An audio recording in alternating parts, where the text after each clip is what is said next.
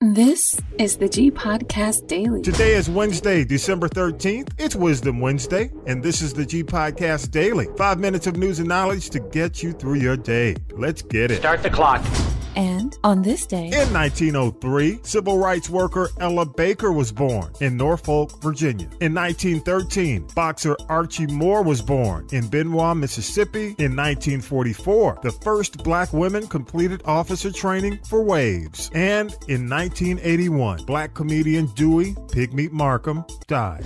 Here's news from UNN with Alexander Caden. This is UNN, Urban Network News, national news and information for one of our people of color. I'm Alexander Caden. A city councilman in Atlanta, Georgia has proposed a ban on ski masks and hoodies in an effort to reduce crime in the city. Philadelphia has done the same thing. The proposal is naturally raising eyebrows among activists and others in the black community of both cities. Senator Raphael Warnock is calling for prayers and forgiveness for the woman accused of attempting to set the birthplace of Dr. Martin Luther King Jr. on fire.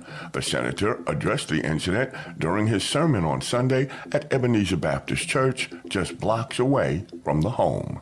A Russian man flew from Europe to Los Angeles without a passport, visa, or plane ticket last month, and officials have no idea how he did it. He interacted with flight crew, ate two meals on the plane, and spoke to other passengers on the flight. A trial is underway in Washington, D.C. that will determine how much Rudy Giuliani will have to pay two black Fulton County election workers who he falsely accused of fraud while pushing Donald Trump's claims after his 2020 election loss.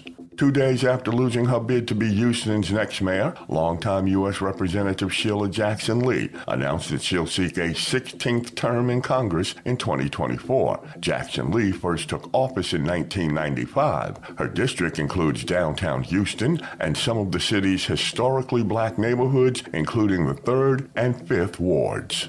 California Congresswoman Maxine Waters is prioritizing her constituents' financial needs by demanding banks open up more branches in her district, in which the largest ethnic group of residents is black. The demand comes as research shows African Americans face considerable challenges in accessing bank services for a number of reasons, including proximity. The Massachusetts Attorney General has filed a lawsuit accusing a white nationalist group of civil rights violations, saying it repeatedly subjected LGBTQ plus events and facilities sheltering migrant families to intimidation and harassment. You've been listening to UNN. For more national news and information for and about people of color, visit our website at myunn.net. Episode 204, Police Behaving Badly, is out now at castropolis.net. Your G clip of the day. Kodak Black, good God, he back in jail too, arrested for drug possession. After the cops found him asleep at the wheel of his Bentley, he tried to eat the evidence and say he was taking a pain pill, but he also is going to be in pain because he has violated his probation. Listen to This is the G Podcast and subscribe. All links at castropolis.net. It's Wisdom Wednesday. You're listening to the BJ Murphy Show. Uh, my grandmama used to say, I ain't from no Africa. I'm from right here in Wayne County.